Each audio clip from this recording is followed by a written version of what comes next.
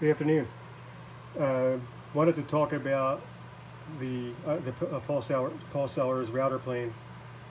I just finished the basic construction of it. It needs some refinement, as you could probably tell.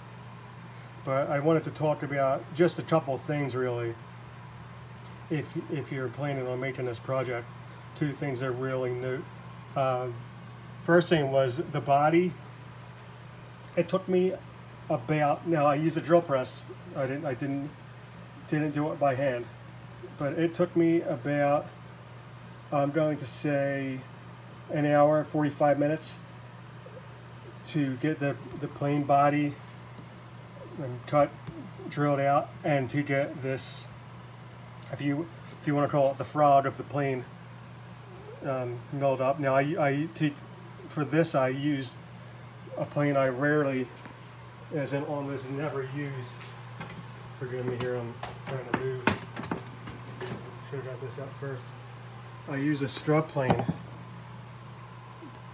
Uh, my wife purchased this for, for me for Christmas uh, a few years back and it was one of those things, sorry, it was one of those things that we don't, you know, try not to make too big a deal about Christmas as adults.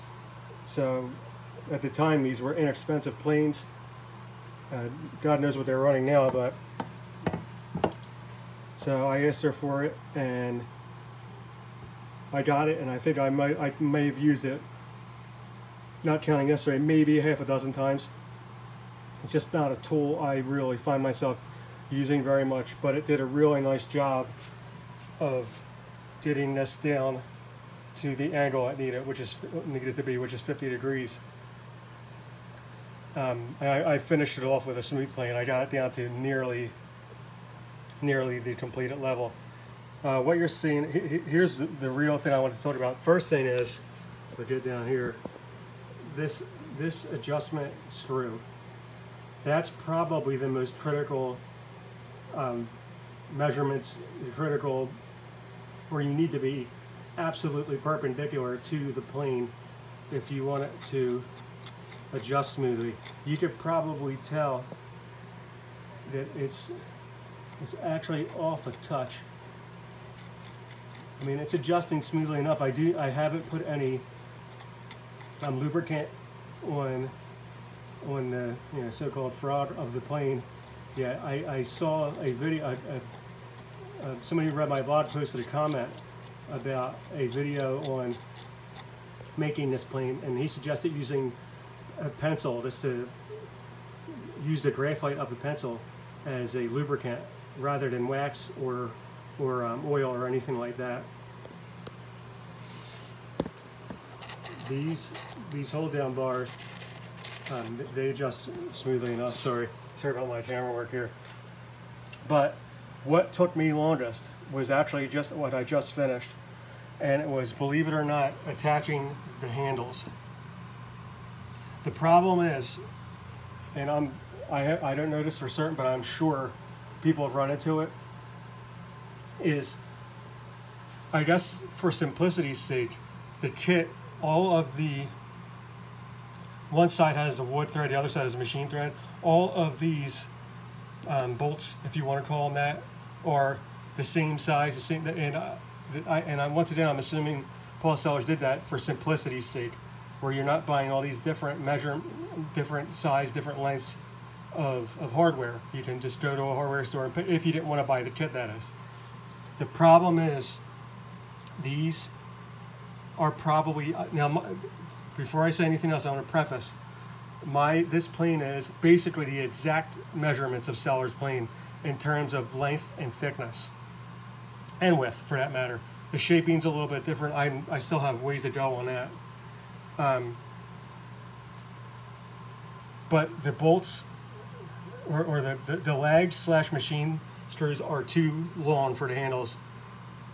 They need to, the, the, the issue being, you can see here, and I'll show you what, I'll tell you what happened.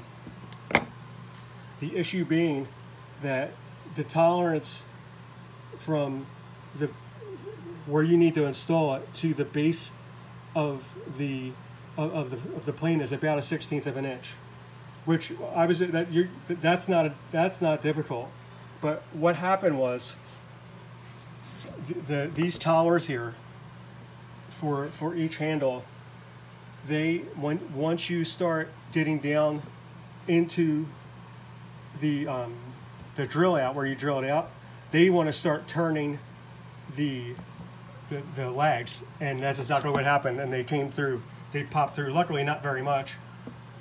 But what I ended up doing was, instead of getting really frustrated, which I started to do, I removed both of them, and I sawed off with a hacksaw the point of the of the lag and about a quarter inch off of each of the machine side and that made all the difference and if you're making this plane especially if you're using stock uh, knobs which I did I just purchased these from Rockler if you're making this plane I would highly recommend doing that unless your knobs are really tall um, which you know they're tall like that knob would be which would probably be easier but uh, once again, I, I was going basically by Sellers' recommendations, um, only for saving money.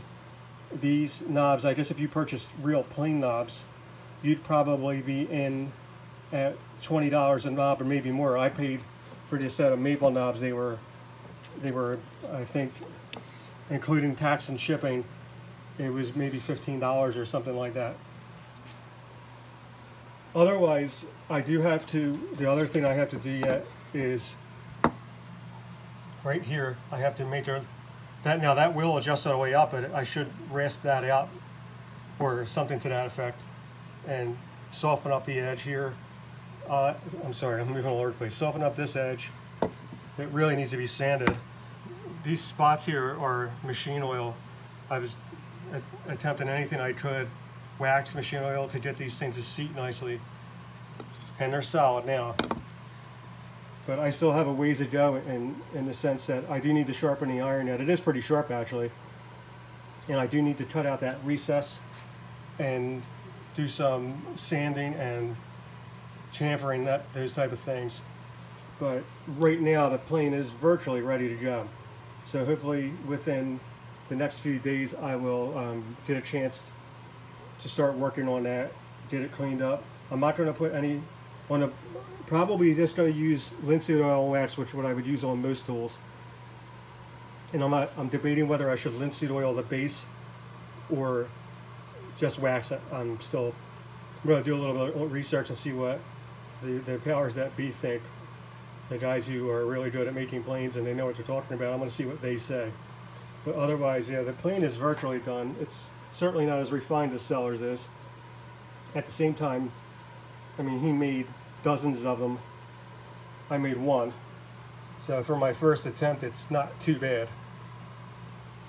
So hopefully I'll get back to you guys maybe by the end of this week. And um, we'll have a plane that's working.